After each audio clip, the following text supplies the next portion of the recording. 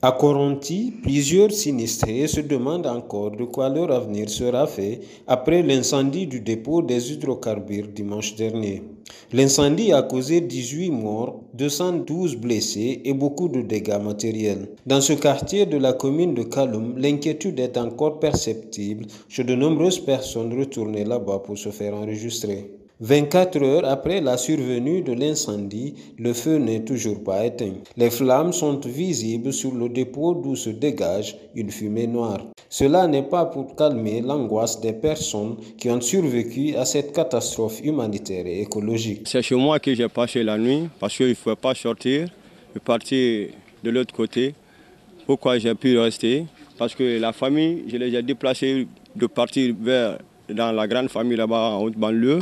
Et moi, je ne pouvais pas me déplacer parce que malgré tout, le séisme qui s'est passé, on a eu les, euh, les accidents, il y a eu beaucoup de dégâts, mais certainement on a pu résister.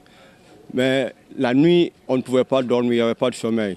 On ne pouvait pas fermer les yeux parce que le fait que le feu n'est pas aussi éteint si vite, on n'a pas pu fermer l'œil jusqu'au matin. Et jusqu'à présent, ça continue comme ça. Depuis la nuit du dimanche, moi, je n'ai pas pu dormir. À la suite du gigantesque incendie, plusieurs sinistrés ont fui leur maison pour se rendre dans l'enceinte du palais du peuple. balɗe ɗiɗi ni hande weeti bimbi ɗo balɗe ɗiɗi miɗe walde ka paale min e paykoye yankoye miɗo wonde toon e ɓiɓɓe jeego min foppo amin ko min ñamata ko bireedi e sardine e koyaye ko ɗum ɗon ɓe woni min e addande ara hippiiji amin ɗin ɗuma sundu yaniri sengo yaniri sengo, ko honno ɗum ɗo wattirte. Meɗe wol meɗen ari waali ɗon fattiɓe ɗon. Addana men ɗon birede, sardine men ñama ɗum ɗon. Min wawali ɗanade sonsoli accale ɓa ko min ɗano ɓa ko say woni a yaltidi e jang, yaltida e dara ko suddoɗa, ma inna a yaltida e wudere ko addoɗa ma dolokke. A koko mi artata hay komi artata woɓɓe okkilan hay o dolokke ko kon ɓurniɗo koro enaka mumaka fa amu enaka amu ka kuna mamma mamba e ba. muma naka fa muma naka bombwara muma sa yina masi ka kolo. Ha wi no va mo va woto stomeni.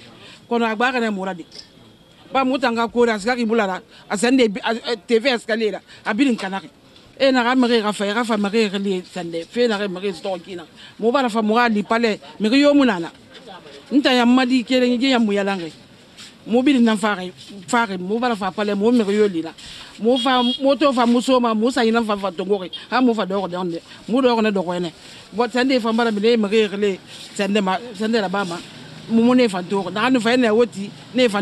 Dans la cour de la mosquée Faisal, l'élan de solidarité enclenché par ce drame continue. Des ONG, mais aussi de simples citoyens apportent des vivres et des vêtements aux victimes. Il faut dire que j'ai été vraiment touchée hier. Je pense que cette situation nous concerne tous autant que nous sommes. C'est vraiment normal que chacun fasse ce qu'il peut pour aider ses victimes en ce temps vraiment sinistre. Moi là, je peux qu'utiliser mon véhicule pour transporter le manger et l'eau à Kaloum pour apporter à manger aux gens. Du côté des autorités communales de Dixine, on salue la solidarité, mais on rappelle toutefois que le besoin reste encore grand. Nous demandons encore aux Guinéens d'être solidaires et ça vient de, de tous les côtés, d'intérieur, de, de l'extérieur et nous continuons à recevoir. Également nous demandons aux personnes ressources de continuer non seulement à venir aider physiquement mais de continuer à apporter des villes parce qu'il y a un besoin énorme sur le terrain encore. Pour sa part, l'État a demandé aux sinistrés de rentrer chez eux où des équipes sont en train de procéder à leur recensement.